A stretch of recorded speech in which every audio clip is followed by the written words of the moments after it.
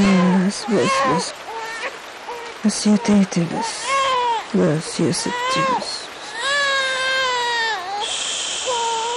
اسكتي اسكتي اسكتي اسكتي اسمعي اسمعي صوت المطر سمعتي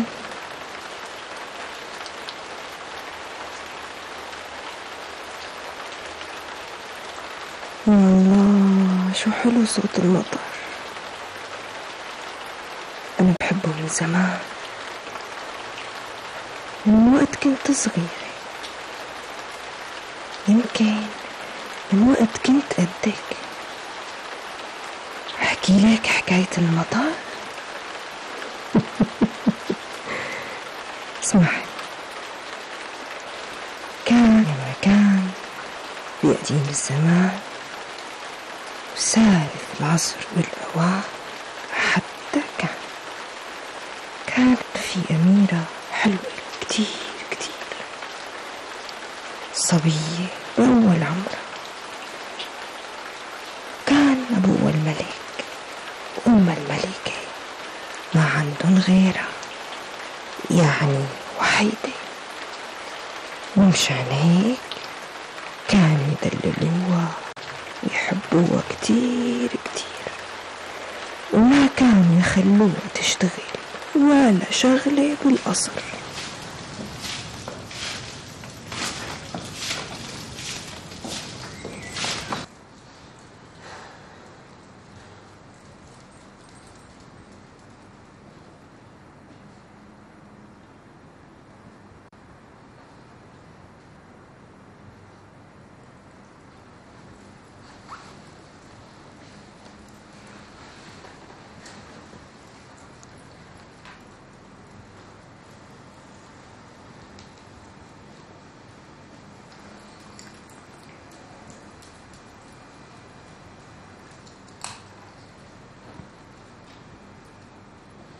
crap.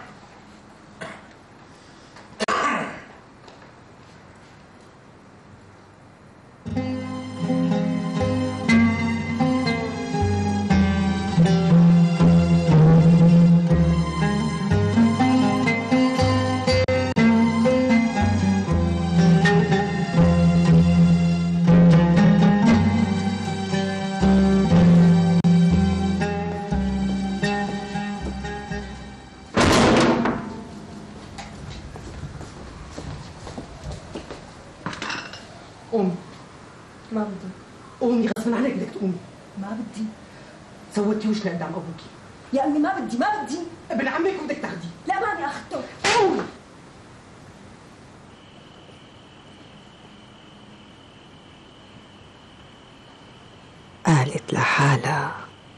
فوت. واعذري شو عملت يا ستي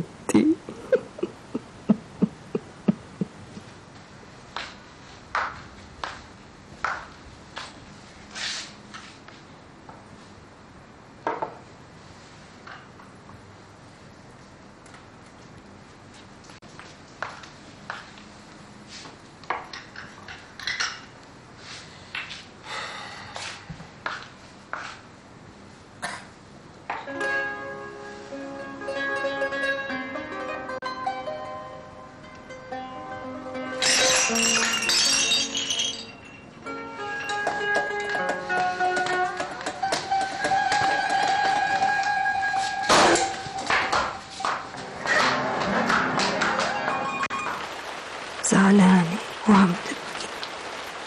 وكانت الدنيا عم بتشتي. وكانت دايما يا ستي تقول بقلبها يا الله شو حلو المطر وتتمنى يجي فارس أحلامها. ياخدها ويركضوا تحت المطر. وفجأة يا ستي شافت الأميرة فارس أحلامها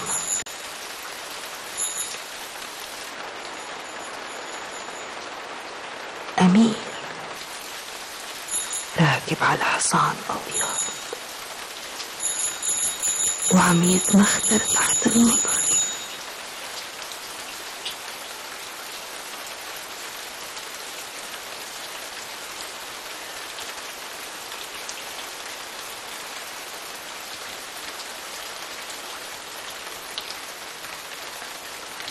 Mm-hmm.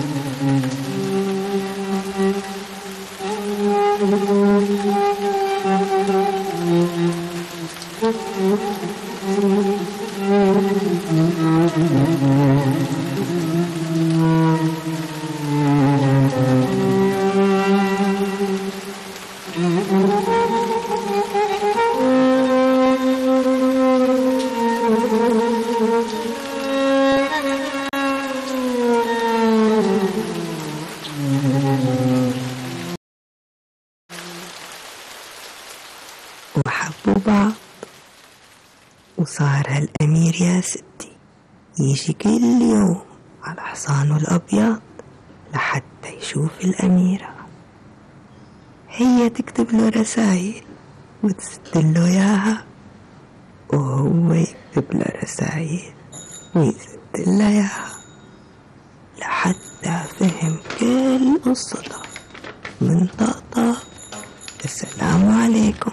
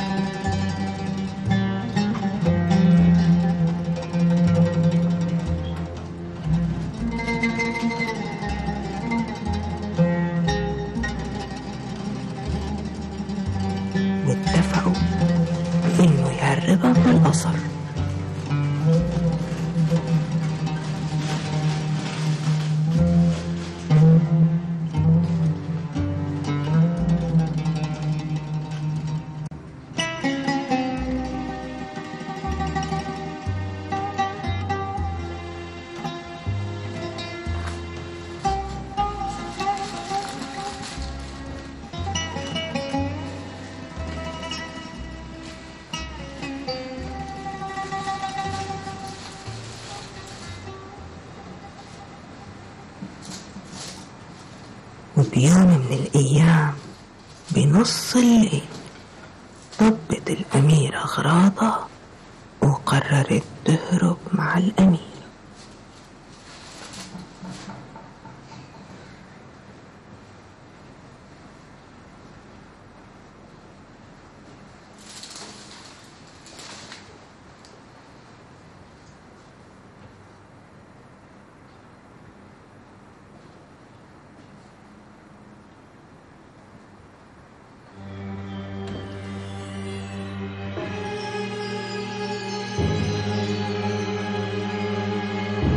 كان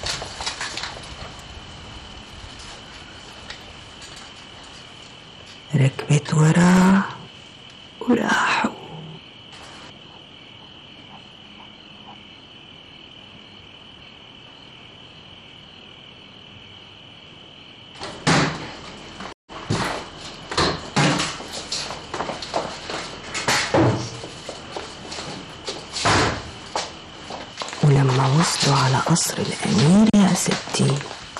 كان المأذون والشهود عم يستنوا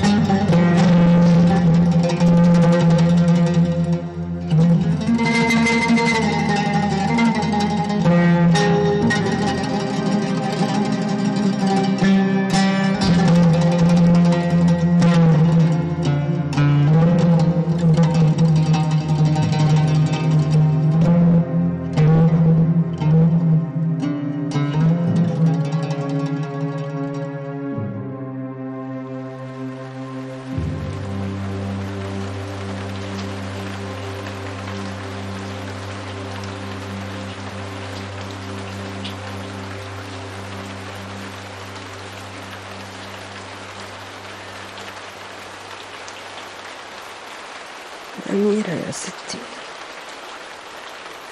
ما صدقت اللي صار معه. فكرت اللي صار معها حلم. قالت لحالها.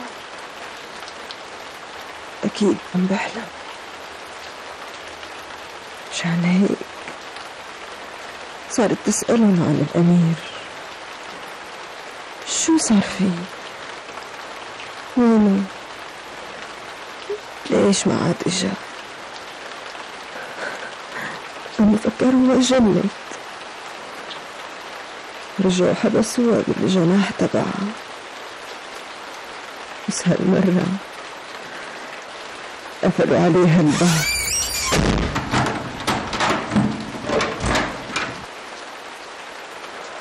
وقالوا لها إنه الأمير سافر على دبي. بعيدة وما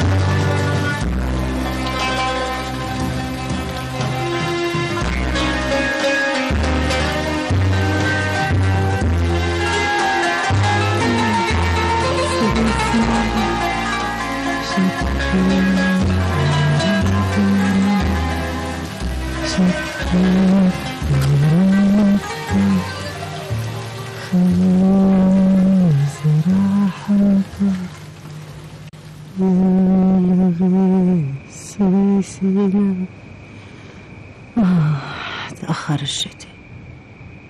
تأخر كتير. الأرض مشققة وعطشانة. وما في نقطة المطر. القمر بدر ومنور عالضيعة كلها. مثل ما كان وشه منور علي. ومغطي العتمية جواتي. يا الله شو كان وشه حلو. كان مثل القمر. لما كان يمر قدام بيتنا. يوقف يطلع فيني يضحك لي ويروح وأنا كنت غنية بصوت واطي مثل المجنون. يا قمر بالعالي قات عنا الليلة من عشيك ومن غديك ومن يذبح لك فرخودي تاني يوم. وديك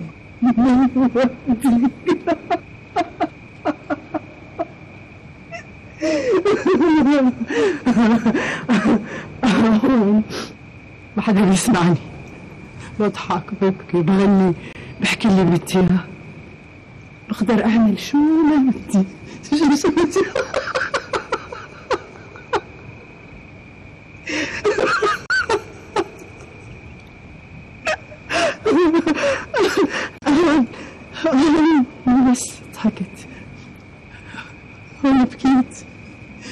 صرخت. وعلى طلو كمال. يا كمال.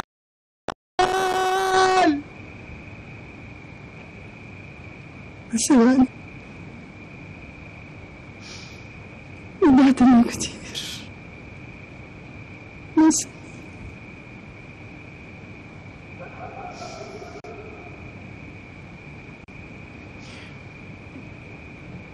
ما عم تسمعني؟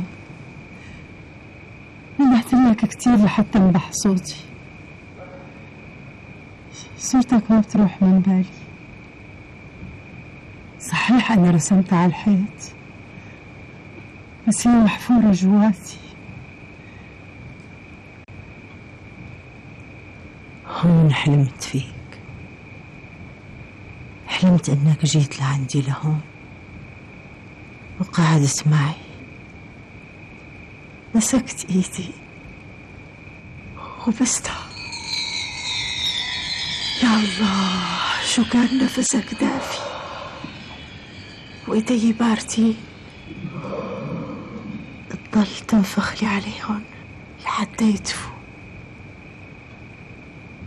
كمان اشتقت لك؟ مرتين أنا بدي روحي لم ترجف بروحي بغطيكي. يا ريت. قربي مني.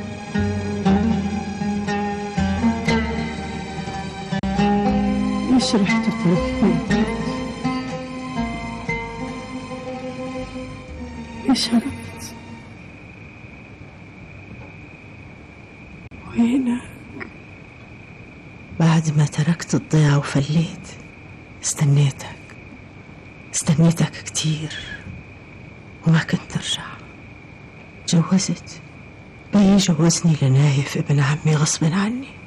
عشت عنده وما جبت له أولاد كيف بدي أجيب الأولاد وأنا ما بحبه؟ ما بطيقه تجوز علي. اي جواز مو فارقه معي. أنا ما بحبه. مسكين. مات وهو ما بيعرف إنه أنا ما بحبه كيف بدي احب استناك سنه بقول هالشتوية رح ترجع. وبيتأخر الشتاء روحي كتير بس بتتشقق. مثل الأرض العطشانة مشتهية زخة المطر. مشتهية اسمع صوت المطر على الحجر وعلى الشجر وعلى الزرع. على سطوح البيوت. كل ما بيتأخر الشتاء بقعد على شباك بيتنا الغربي بطلع بالسما لما كنت شم ريحة المطر أفرح. أرقص بأرض الديار أرقص. غني مثل مجنونة يلا غيث غيثينا شتي ع أراضينا.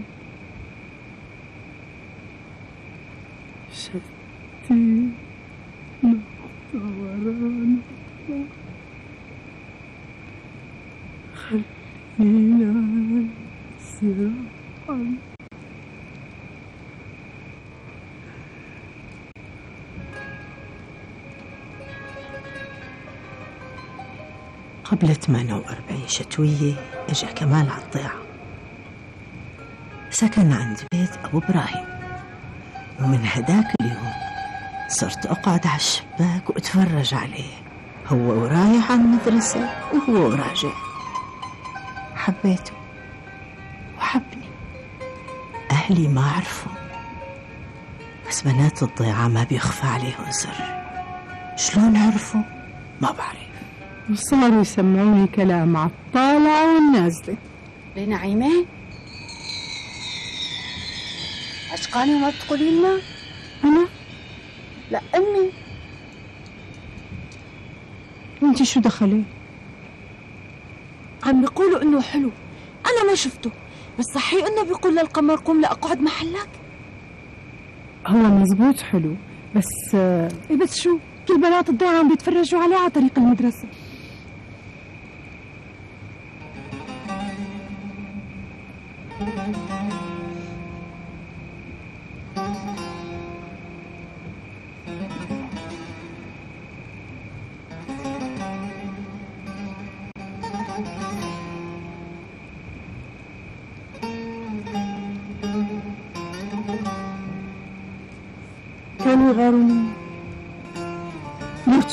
كانوا يحسدوني كمان. إحنا يتغزلوا فيك وأنا احس حالي اميرة زمان. وخصوصي لما لبست الطوق اللي هديتني إياه. طوق الفضة.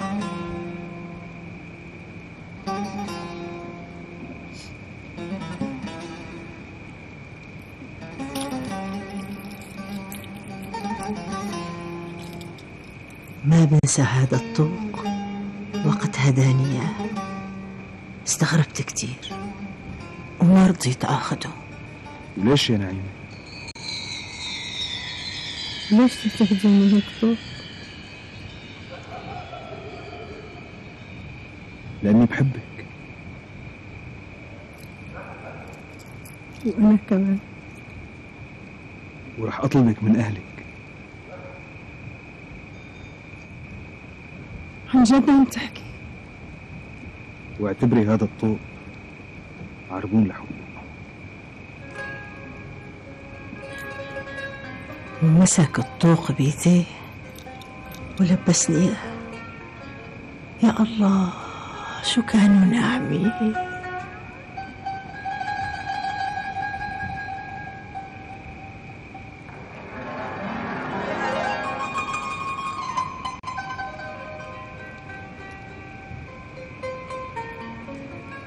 خذي شوفي قديشك حلوة يا نعيمة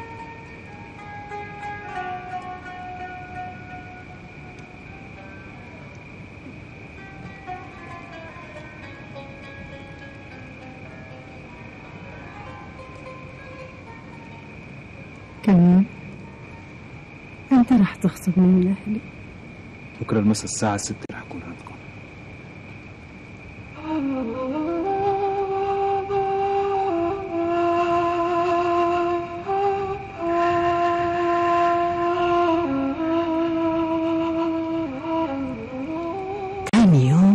الساعة ستة بالتمام.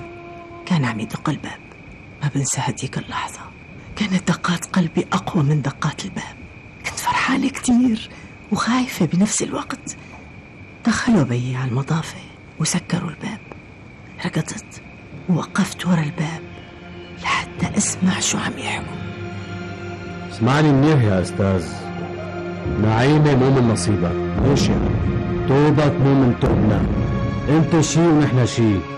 وفهمك كفاية. بس يا عمي أنا ما لك عنا نصيب. اسمع شو بدي أقول لك. انت شاب متعلم وميت بنت بتتمناك. لاقي غير وأنا بدي نعيمة. اليوم الظهر اقرب لك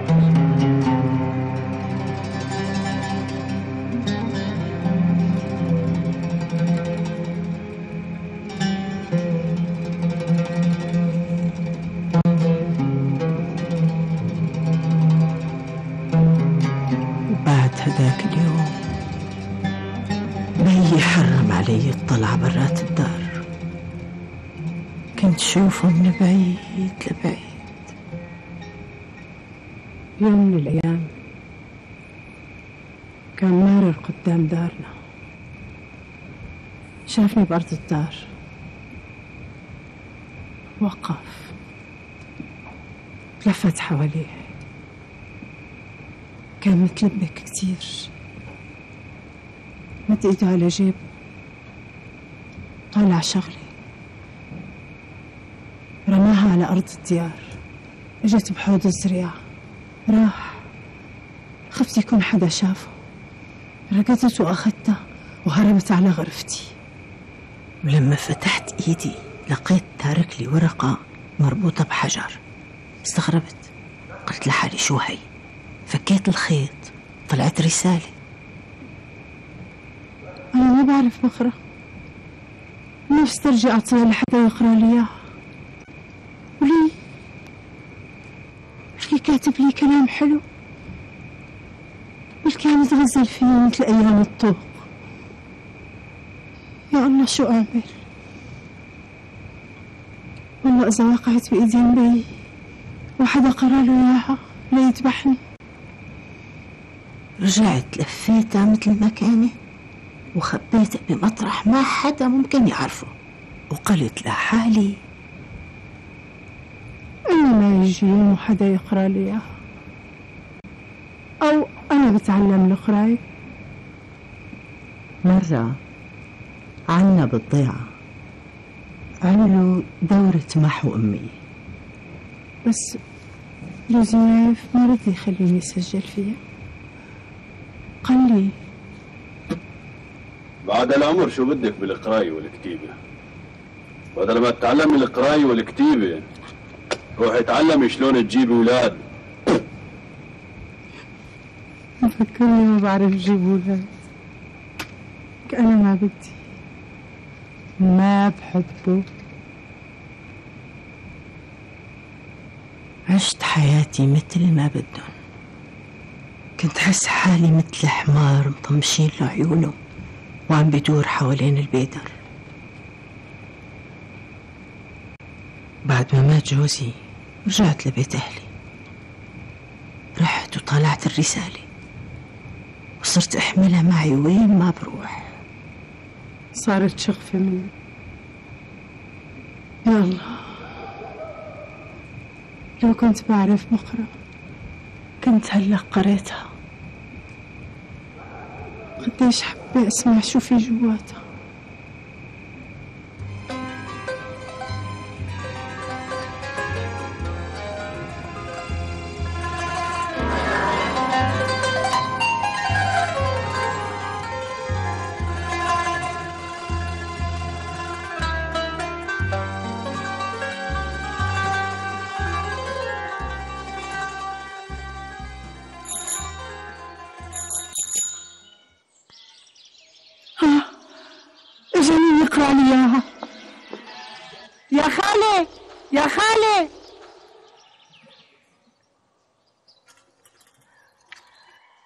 يا بنتي اقرأ لي شو مكتوب بهالورقة يا خالي كل يوم بدي أقرأ لك إياها. آخر مرة. الله يخليك لميمتك خذ. خذ هالسكرة. طيب مثل ما بدك. إلى غزالة البرية نعيمة. أراك غدا مع طلوع الفجر عند مفرق القرية الشرقي بجانب المقبرة. جهزي نفسك. سنهرب معا إلى العاصمة ونتزوج. وإذا لم تأتي سأرحل دون عودة عن القرية. المحب المخلص كمال.